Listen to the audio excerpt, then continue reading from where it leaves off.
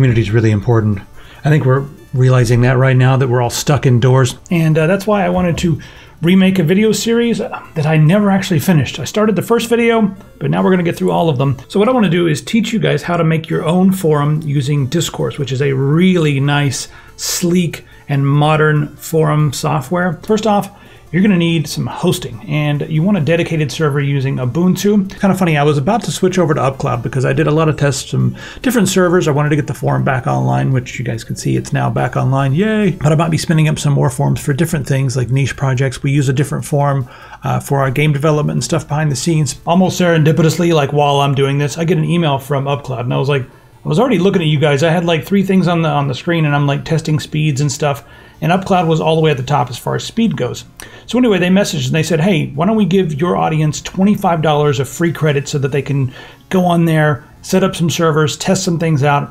And if you're using the basic server, $25 will keep you running for several months. So I was like, yeah, plus you're already going to get a free week. So head down to the description. You'll see a link that'll take you to UpCloud, uh, or you can just go to UpCloud and use the coupon code Tek Syndicate. But anyway, in this video, uh, we're going to start off with the community and we're going to finish the community. So in the first video, we're going to set up the server. We're going to set up the email server that you're going to need for uh, Discourse. It's actually easy, but there's a lot of steps. So just follow along, and then we're going to get to the fun stuff in the second video. We're talking like themes and configuration files, plugins, uh, and just fun stuff that you can do with your community. And one more thing I want to say while I'm on my soapbox. Right now, we really need community. We're, we're isolated, right? And we go on to, to like social media, and there's really no niches. Everything is just general, and people don't feel that sense of like clicking and belonging and becoming part of something that's specific to what you love. So that's what the beauty of making your own community is, is you can have just a few people and you don't need a million people liking all your content. If you only have two or three or five or six people or whatever, just a few people, and you're all interested in the same things, you can have a lot of fun on your own community. So I want to encourage you to do that, especially if you guys are all gaming together. Set up a forum for yourselves and uh, have some fun. I'm going to assume you already have a domain name. So if you don't, go get a domain name first, get all that ready to go, get all that spinning up, because that's going to have to be ready uh, for this. And then we're going to go to UpCloud and uh, set up a server, get the IP address, and take it from there. So, so once you're into UpCloud, just go ahead and click on Deploy Server. And then you can pick where you want your server to be hosted. A lot of different options here. If you live in the middle of like Pakistan or something, and you're running an English language website, maybe put the server in London or the USA. So just put it wherever you think your audience might be, but also, you know, find something that's kind of a compromise for you because you're going to be uploading to it and all that as well. Now, when you're doing the trial, you can start off with the uh, the five dollars a month, but since you're going to have the twenty five dollars, if you wanted to, you could do two cores, fifty gigabytes of storage. But this is going to meet the minimum requirements of Discourse, so I'm just going to do the basic five dollar a month server because that's all you're going to need. Uh, and as your community grows, it's really easy to come in and resize your servers. There's no headaches. You're not going to have to like redo everything from scratch. You just come into UpCloud and say, hey, I need some more resources, and it'll throw some more stuff at it. So you got all your options. Like I was saying, if you want backups, you can turn those on. Backups are a pretty good idea in my opinion, um, especially if you're running a very active site with a lot of different users. It's a really good idea to have backups. Now, you can have backups internally in your discourse. But this will be a server level backup, so it's nice to have redundancy. This is going to be completely up to you guys, but I think it's pretty reasonable there. Go ahead and do the $5 a month. And then when you scroll down here, um, you're going to want to leave this for, for Linux. Just leave it on VirtIO. For this, we're just going to need Ubuntu. Now, Ubuntu, I know 19 and that sort of thing, that's all out right now. Uh, but the version of the server we're going to use is compatible with 18. So just use that one, you'll be fine. Um, and you know you could even use 16 if you wanted to; it'll work just fine. But we're going to be fine with uh, Bionic Beaver. That always sounds like a device you can order from an illicit website. And uh, this is something you can turn on and off. It's going to be completely up to you. SSH keys, you can add those. You can also access it easily using the, uh, the username and password they give you. I was able to SSH into that no problem. I'm going to give this a name so I can remember this. Let's uh, be the Epic Forum.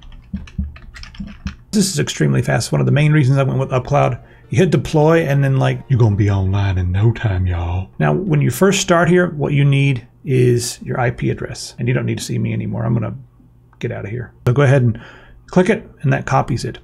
Now what you want to do is you want to go over to your registrar, wherever your domain is hosted. Right here, I've got epicpants.com we're to be using for this.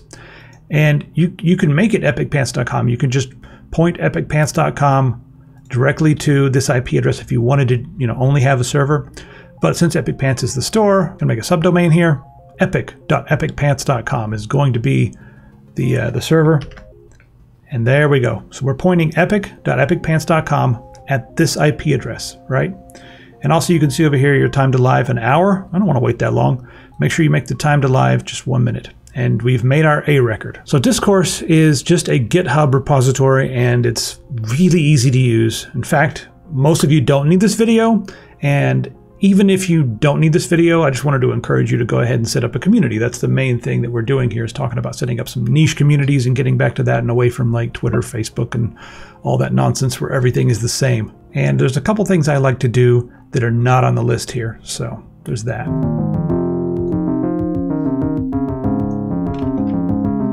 Let's talk about your options for mail because you have to have mail for discourse, right?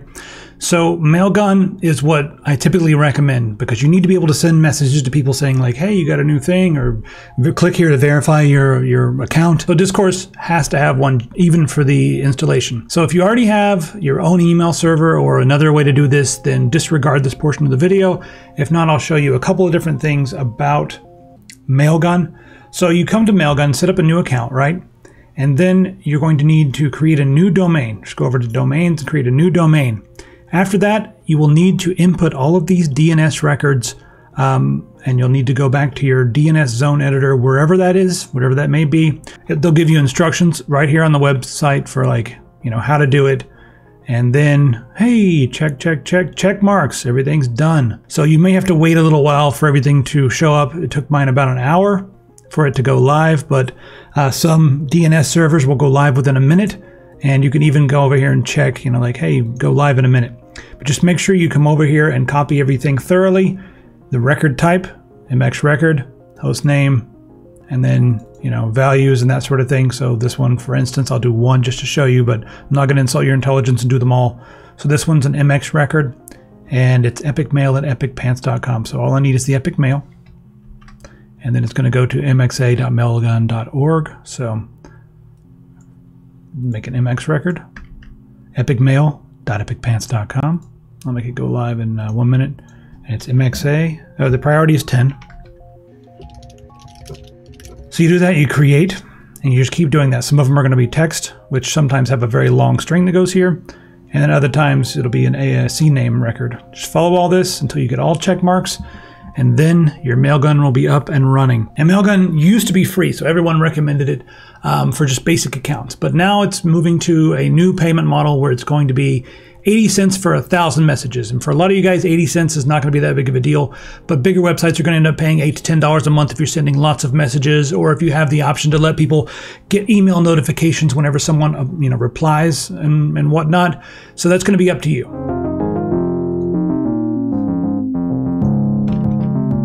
All right, so when you open up your console, this is what it looks like. Uh, pretty easy. Your username is always going to be root.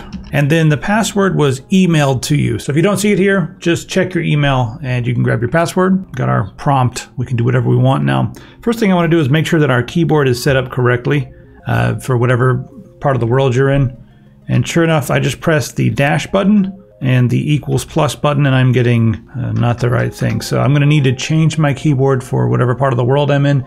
You may or may not have to do this. My layout's 104 key US keyboard layout. It's really, really easy to change your um, your layout. Just reconfigure my keyboard. If yours works fine, then don't even worry about this. But here's how you do it. DPKG dash reconfigure. If the dash is coming up as plus, it's going to be the question mark on US keyboards. It's DPKG dash reconfigure space keyboard dash configuration. Press enter, and then we can pick our keyboard. Mine's 104 key generic, just you know, PC keyboard, and then pick your language, of course. And then this just going to be default, and I don't need a compose key. If you need a compose key, then good on you. All right, so now you're going to need to reboot because you've changed your keyboard layout. The easiest way to do that is just to type reboot.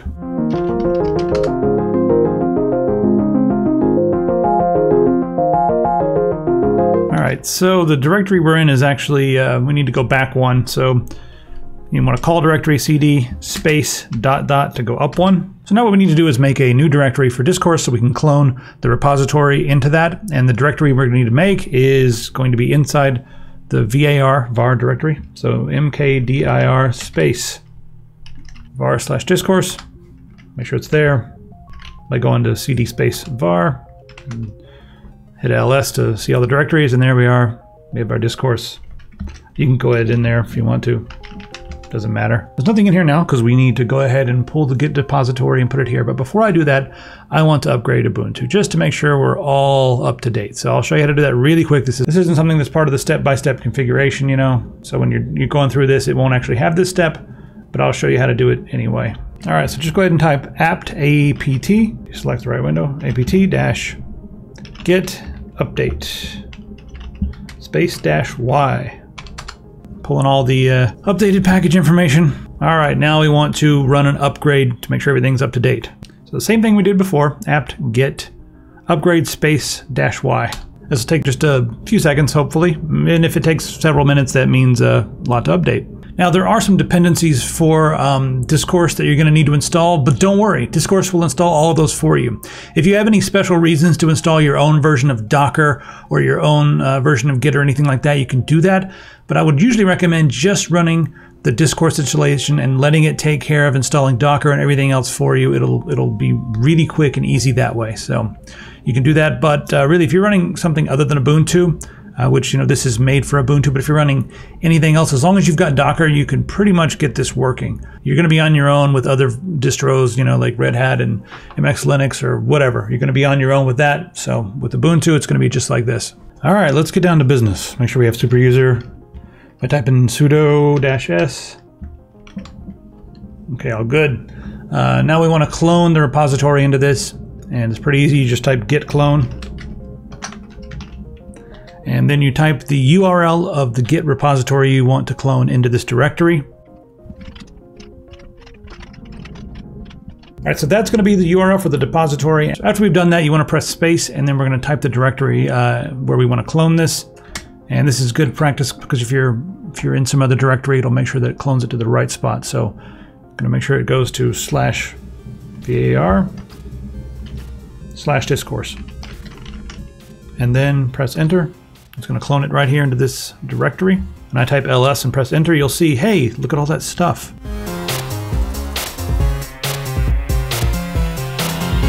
All right, let's get Discourse installed. Go back to your console, your terminal window, whatever it is. And uh, then you're just going to navigate to the directory, dot slash discourse dash setup, press enter. I've already done it once, but uh, we'll do it again. And one thing that's cool, if you want to change your email settings or something like that, you can always just rerun the Discourse setup. You can do that at any time and it'll rebuild. If you just want to do a rebuild of the application, you do that differently, but this will do the same thing. First off, your uh, host name. It's going to check the domain name now and make sure that everything is set up properly, make sure your IP address is pointed to your server, and that Discourse can talk to everything. So as long as that goes through, you're all good. If it doesn't, go back and check your DNS settings. Make sure you put, put in the IP address correctly and all that. Email, admin account, this is going to be for your Discourse installation. So use an email you want to use for that, whatever it is.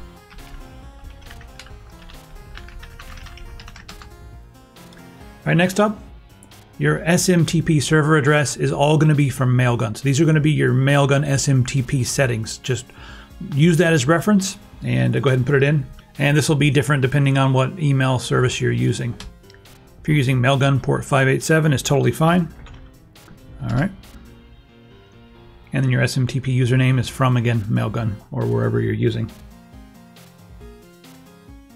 Uh, your password. If you get it on Mailgun, it's going to be a very long password if it's auto-generated. It's tedious, but uh, go ahead and type that out. It's like Windows serial number. You have to do it once. And then after that, after you've typed it in once, as long as you typed it correctly, um, and it's there already, just press enter and it'll keep the information. So next up we have our Let's Encrypt options. And by default, Discourse is going to uh, set it up as HTTPS. But if you want to have an email address just for your Let's Encrypt, you know, reasons, you can do that. So I went ahead and did that. And that'll be my email address to associate with Let's Encrypt so we can get the SSL going, have HTTPS and all that. All right, it'll show you your settings there, and you can look through everything and make sure everything's correct. It takes a few minutes to install, so just give this one, you know, good look. And if everything's good, press enter. If not, press in for no. All right, this is going to do a build now, and that'll take maybe 10 minutes or so. maybe less. Actually, probably a little less than that. So just make a coffee and hang out for a minute. All right, so our installation is finished. Everything's done. It's now the uh, moment of truth. Time to go over to the website and try it. epic.epicpants.com. Hey, check it out. Now you can just go ahead and register. It's going to have the email address right there. Yep. And uh, put in whatever password you like. It's going to send you an activation email just to make sure your email works and also, you know, so you can activate your account. But this will also be the same experience that all the other users go through, so it'll be nice to uh, check it out. And after you click the activation link, you're good to go. Go ahead and uh, click activate. There's a little uh, thing you can go through here if you want to get your site set up. You know, you can name your site. Sure.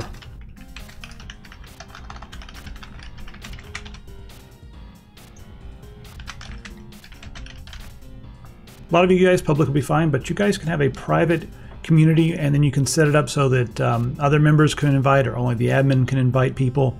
So pick the one you want. Either one's fine. All right, you can set this up any way you like. I'll skip this for now.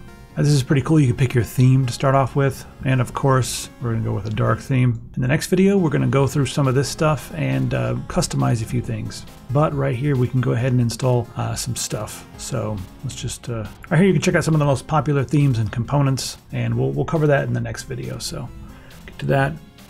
And then if you want to have um, an icon, you can upload it now. Let's go ahead and use my Midnight Dojo stuff. Sure, looks fine, whatever. And there's no option to turn it off right here. You got to do that uh, somewhere else, but whatever. Stupid emojis. Here you can invite a bunch of people, invite all your friends.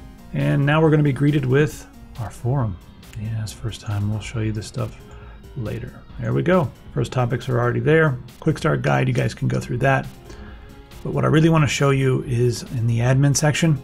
And here we're going to go through some of the customizations and also I'll cover plugins. Plugins, um, Customizations you can just install right here very simply. The plugins you're going to have to do a little more on the back end and then do a rebuild of the server. We'll show you how to do all of that in the next video. So again, remember to say thank you to UpCloud for the $25 of free use and also the seven free days. So make sure you check out that. Tek Syndicate is the coupon code and that's in the top of the description. Also head over to epicpants.com and grab yourself a t-shirt, or maybe a mouse and keyboard, why don't you? One of these. Yes. Is lovely, y'all. We'll see you in the next video. Let me know if you have any questions and maybe I can cover those also in the next video. See you then.